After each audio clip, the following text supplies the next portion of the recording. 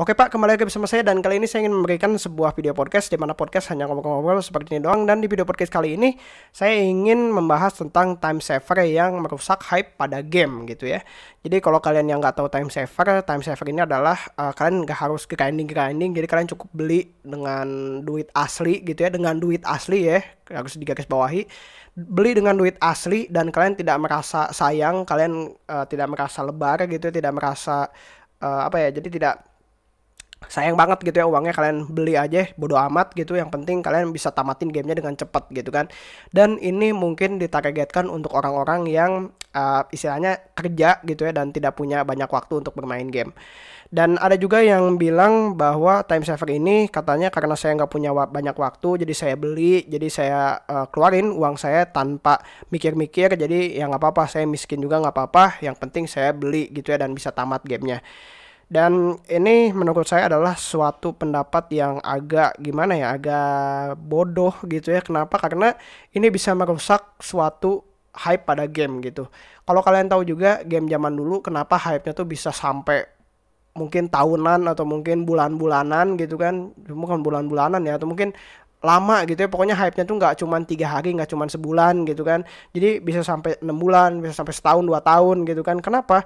Karena game zaman dulu itu memang walaupun kalau dari playtime ya playtime-nya itu memang istilahnya playtime-nya tuh lebih pendek dari zaman sekarang gitu ya. Tapi dulu itu kan belum ada internet ya kan. Jadi hype-nya itu tidak dihancurkan oleh internet. Kalau kalian misalnya nih ngestak puzzle gitu ya misalnya. Kalau zaman dulu ya kalian mikir sampai itu gamenya tuh sampai uh, beres gitu ya sampai puzzle-nya tuh terpecahkan. Kalau zaman sekarang kan ya sekarang oh soal kalau misalnya puzzle-nya susah udah ada internet gitu kan tinggal buka YouTube beres gitu kan. Dan yang lucunya juga ada game kritik gitu ya game kritik apa ya namanya tuh kalau nggak salah game spot ya kalau nggak salah. Jadi mereka itu mengkritik Darksiders 3 mereka memberi skor 6 karena puzzle-nya terlalu susah gitu dan menurut saya itu puzzle-nya nggak susah-susah amat gitu. Yang lebih susah itu di Dokisi satu. Mungkin itu yang reviewnya tuh belum belum pernah main game di Dokisi satu gitu. Dan menurut saya sih itu astagfirullah gitu ya. Ini kok game kritik kayak begini gitu? Kok pemikirannya tuh tolol begini gitu? Ya gimana ya? Justru game ada puzzle itu justru yang paling bagusnya tuh Darksiders 3 menurut saya yang bagus yang paling bagus itu ada puzzlenya. Kalau nggak ada puzzlenya itu gamenya tuh kayak cuman ya cuman pencet kotak doang gitu kan cuman tebas-tebas doang udah beres gitu kan tanpa harus mikir. Dan menurut saya puzzlenya kalau bisa lebih susah. Di Nokia satu kalau bisa puzzlenya lebih susah.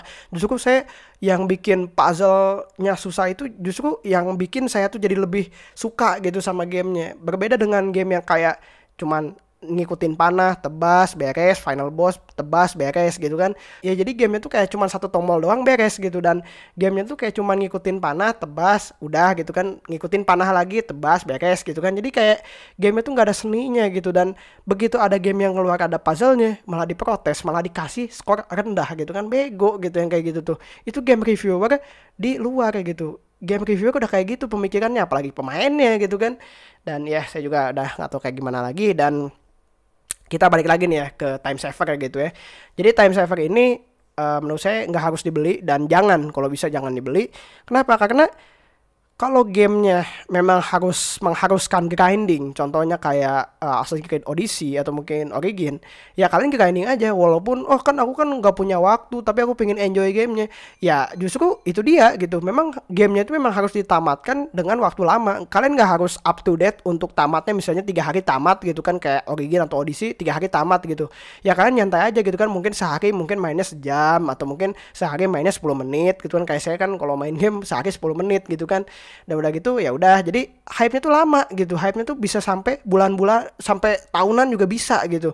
Kalau kayak gitu kan jadi kalian mainnya nyantai gitu kan sampai ya walaupun hype-nya kalian hype-nya di internet gak hype tapi hype untuk diri kalian sendiri itu dapat gitu. Ya semoga aja sih ya please lah gitu. Kalian jangan beli yang kayak begitu. Jangan kalian jangan beli microtransaction kalau kalian mau beli ya silahkan tapi itu bakal menghancurkan industri gamenya. Karena ya walaupun ya memang sih ya walaupun memang uh, shop ubi gitu pengen membuat keuntungan dari situ jadi biar grindingnya itu di skip gitu kan jadi kalian bisa uh, langsung tamat gitu kan. Ya tapi kalau kayak gitu ya mending kalian gak usah main gamenya sekalian karena ya main game yang namanya main ya memang kalian harus main gitu memang kalian harus grinding walaupun uh, setiap game nggak harus nggak ada grindingnya nggak semua game ada grindingnya ya. Jadi ya memang eh, harus kayak gitu gitu. Dan kan harus paham aja gitu yang namanya main ya main. Jangan kalian beli game udah 60 dolar kalian harus beli sesuatu yang kalian untuk skip, skip grindingnya gitu. Dan menurut saya itu adalah ide buruk ide terburuk yang pernah ada gitu ya kalau kalian beli. Dan apakah kalian gak merasa sayang aja gitu sama uang yang kalian keluarin? Kalau saya sih sayang gitu ya. Saya mending grinding dan ya have fun aja. Yang namanya main game ya main gitu. Kalian kalau misalnya grinding aduh bosen. Ya udah skip aja nanti lagi gitu kan. Ya nggak harus nggak harus cepet tamat gitu. Sebuah game itu nggak harus cepet tamat nggak harus langsung lawan final boss gitu ya. Ya tapi walaupun saya tahu juga sih mungkin nggak akan ada yang mendengarkan saya. Tapi kalau kalian yang mendengarkan saya atau mungkin yang mendengarkan podcast kali ini saya cuman ingin memberitahu kalian aja bahwa ide-ide kayak gini microtransaction, time saver dan ya itu adalah sesuatu yang nggak harus kalian beli. Semoga aja kalian ngerti aja sih ya dan semoga aja kalian tersadarkan, terbangunkan gitu ya. Jadi ya biar nggak beli yang kayak gini. Jadi kalau kalian beli terus yang kayak gini, industri game bakal entah ke mana gitu ya dan single player single player game mungkin bakal ngeluarin semua yang kayak gini dan itu udah seni bermainnya tuh udah nggak ada gitu. Jadi seni membeli bukan seni bermain gitu. Dan ya kayaknya cukup segitu doang sih ya untuk videonya untuk time savernya. Dan kalau kalian mau yang microtransaction mungkin ngomongnya udah agak belepotan juga tuh yang microtransaction dan time saver ini. Karena saya udah pusing juga sih udah ngomong berapa menit nih gitu ya. Nih ada yang mungkin ada bagian yang dipotong nggak juga. Dan ya cukup segitu doang untuk podcastnya. Terima kasih yang sudah mendengarkan dan ya bye bye